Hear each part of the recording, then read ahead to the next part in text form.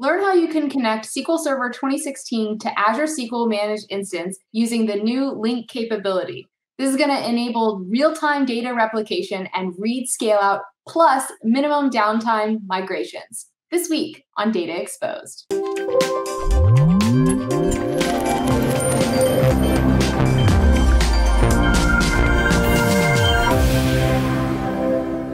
Hi, I'm Anna Hoffman, and welcome to this episode of Data Exposed. Today, I'm joined by Dani from the Azure SQL Managed Instance team. Dani, thanks so much for joining us today. Thank you. Nice being in your show, Anna. It's great to have you on the show. Last time we were in person, which was kind of fun, but it's still great to have you on uh, from all the way across the world, essentially. Uh, but today we're going to be talking about some new things in Azure SQL Managed Instance. Can you give us a little bit of an overview of what you're going to tell us and show us today? Mm-hmm. Most certainly. So I'm going to talk about connecting SQL Server 2016 to Azure SQL Managed Instance using Managed Instance Link. And I have prepared a couple of slides for this purpose. Um, so we're going to learn about near real-time data replication and read scale out enabled by the link. We're going to experience how it actually works. We're going to see some demos, and then we're going to understand the tech behind it and what does it mean to all of you guys. Awesome. Well, we got a lot to do, so let's get right into it. Can you start by telling us like what is the link feature for Azure SQL Managed Instance? Most certainly. So the link enables hybrid connectivity between, between SQL Server and managed instance using uh, always-on technology. Um, it empowers you to use Azure at your own pace, so you do not need to migrate to Azure. You can connect your existing SQL Server to Azure and use your data with all Azure services using the link. And while doing that, you can modernize your uh, workloads by um, getting the best from Azure for your existing SQL Server workloads. And then if and when you're ready, Link provides the best minimum uh, downtime migration solution to Azure. Cool. This sounds pretty exciting. So how does it? Yeah. Oh, yeah. Wonderful. How does it work? yeah. So essentially, we uh, establish a link between SQL Server and managed instance. We replicate the data uh, using the always-on technology. Then you can uh, the um, source, the original data in SQL Server is your read-write database, and then replicate the database on managed instances read-only. So you can use it to um, offload your read-only workloads for applications or choose a myriad of uh, uh, Azure services on your data, which is replicated to the cloud. Um, once when uh, ready, if you want to, uh, you can migrate to the cloud. But even without migrating to the cloud, you can keep the link running for weeks and months at a time. Awesome. Um, be yep. Here we go. Yeah, let's take a look. let's see it in action. You're reading my mind, Dani. All right. So what I have here on the screen is I have SQL Server 2016 and of course data exposed database on it. And then I have managed instance with no databases on it.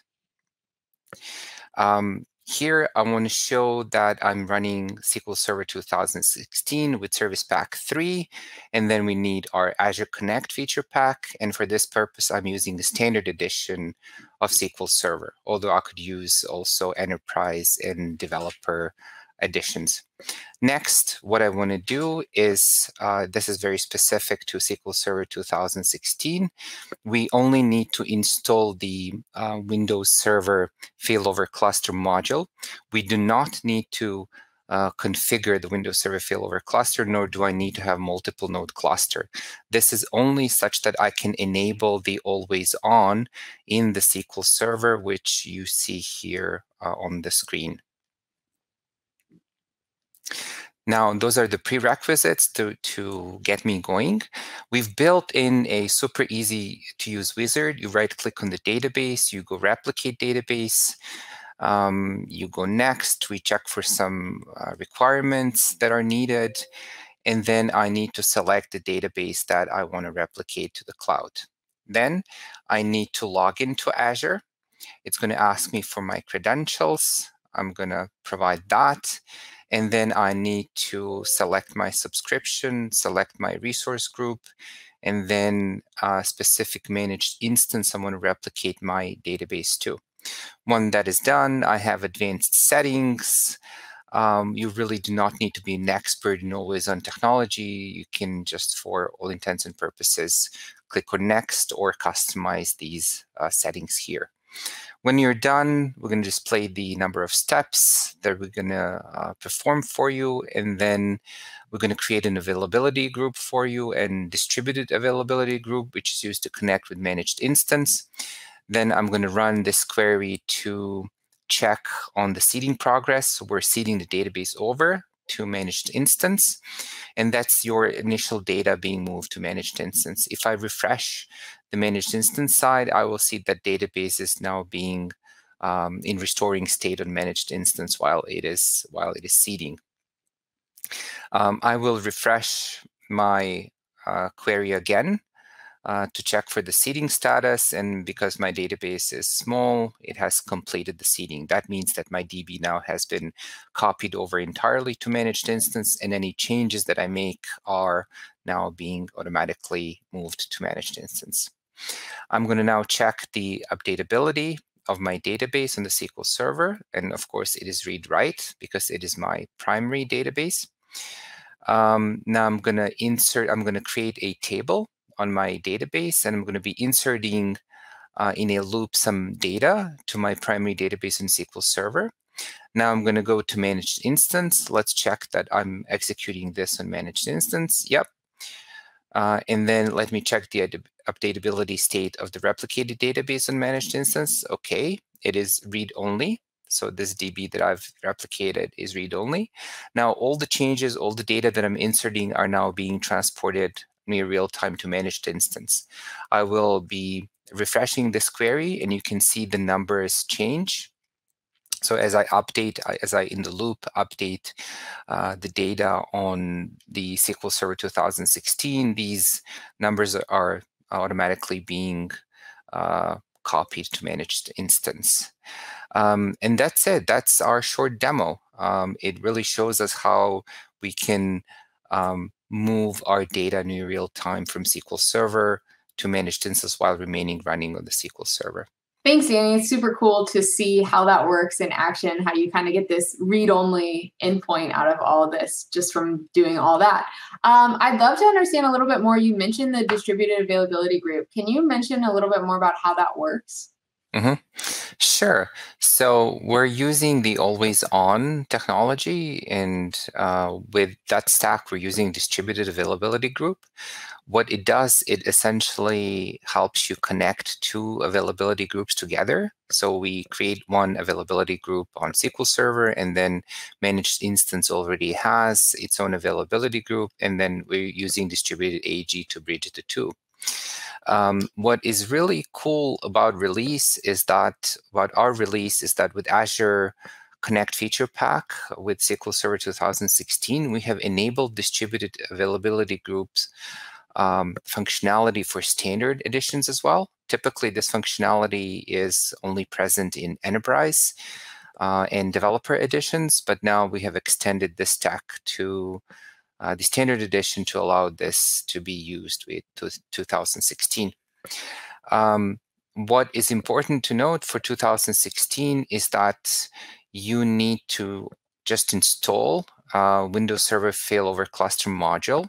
You do not need to configure your Windows Server failover cluster, and you do not need to have multiple um, nodes Windows Server failover cluster. Uh, we just need that module to enable always on on the on the SQL Server. Other than that, uh, just install the Azure Connect feature pack and you're good to go.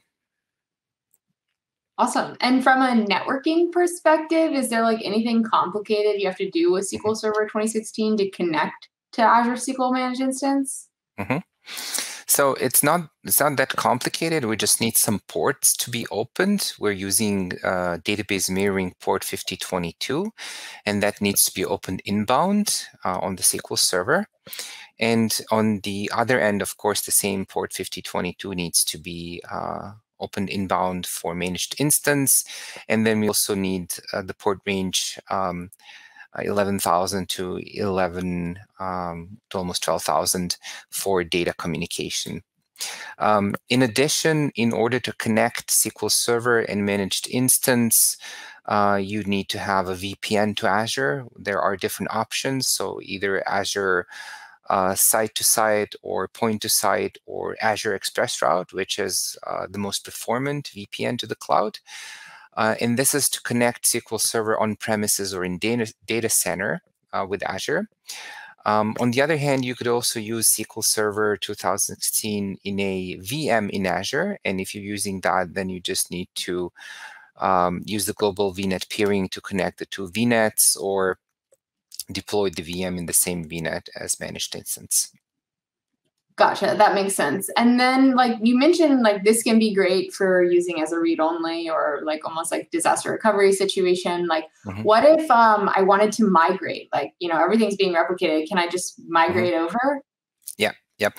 So you can keep running the link for weeks and months at a time uh, without migrating to the cloud, but then and leveraging the best of the cloud. But then when you're ready to migrate to the cloud, we offer, or this solution offers the best possible minimum downtime migration experience compared to all our other tools that we have in Azure. Um, before migrating, you would of course test your workload. Um, you would test that your uh, uh, your data performance in the cloud, and then when ready, always on um, allows you to use a failover, and failover is almost instantaneous um, your database on managed instance becomes read-write. Uh, you would repoint your application connection string to managed instance, and then you're uh, you're up and running uh, solely in the cloud. Nice, awesome. So let me talk a bit more about um, different migration scenarios. So you can we can you can consolidate and deconsolidate your workloads in the cloud. Um, what I have here shown is a deconsolidation scenario. Let's say you have a very large SQL Server 2016. It hasn't has been growing for years. You have lots of data on it. You've just been upgrading the hardware, and it's kind of like super difficult to manage being so large. Um, maybe you have a need to have a couple of managed instances geographically dispersed in different regions. So with the link, because the link is database based, then you can uh, deconsolidate and replicate your data to multiple managed instances. On the other hand, if you have multiple SQL servers and maybe have um, smaller workloads and want to consolidate on managed instance, you can also use that as shown with this uh, with this other picture. Now, um, I also have uh, a demo to actually show all this in action. This is a short demo of how to perform a minimum downtime migration to Azure and to show you how, how fast and how instantaneous this is. Once again, we're gonna we're gonna um, use SSMS. We're gonna check the database updatability on managed instance. So our replicate database is read only. So the data is st still being replicated. I right click on the DB. I execute failover database, get into our wizard, select my database again. I need to sign in uh, to Azure in order to be able to perform this, uh, this action. I click next, and then we have two types of fail failover, which is planned and forced failover. Planned um, is uh, allows me uh, uh, is is the best possible data option, and then forced is if I have some kind of a problem. Then I have an option to delete availability and distributed availability groups as a maintenance option. And then I click on the next, and all these steps are being executed for me. And uh, as quick as you've seen it, I've migrated migrated to the cloud. I've been successfully migrated this database to the cloud. Now let's check the updatability state of this database. It should be read-write. And yes, it is. Now my, my, my database is fully migrated to managed instance. I can repoint my application connection string to it and start running in the cloud solely. That's awesome. And I guess like it happens so fast. Does it happen so fast because you know all the data is already there so we just have to do some like you know magic to switch everything over or correct like, correct. all, all the data is already there. It's being uh, transported automatically near real time and uh, anytime you do you have a new commit on SQL Server 2016 it is uh, updated instantaneously near real time to managed instance. So with all the data being in managed instance we just do a failover and essentially transition to MI. And that's why it is instantaneous. Awesome. Cool. Well, thanks so much, Dani. Like I learned so much during this episode. Um, I see we have up this like fancy QR code to learn more, I'm guessing, but do you have any final tips and tricks for folks just getting started with this? Mm-hmm. Yes. So we support to get started with this, you would need SQL Server 2016 Enterprise Developer or Standard Editions. Uh, you would need to install Service Pack 3 and then our Azure Connect feature pack, which enables this wonderful functionality. Um, you need to run your SQL Server on Windows Server. Um, you need to have the uh, module, Windows Server Failover Cluster module installed, but you do not need to have multiple node failover cluster. You need to use the latest version of SSMS, which at this point in time is 1812. And then you need to have appropriate connectivity. If you are, if you have all these uh, pre-requirements set, then it's just easy to set up the link. And if you want to uh, learn more, jump onto the website and uh, uh, read more about it. That's it. Awesome. Thanks so much, Dani. This has been really useful. I learned a lot about SQL Server 2016, how I can connect it to Azure SQL Managed Instance using link. I think a lot of our customers and viewers are going to like this. So if you like this video, go ahead, give it a like, leave us a comment, and let us know if you're using it or if you have any feedback. And we hope to see you next time on Data Exposed.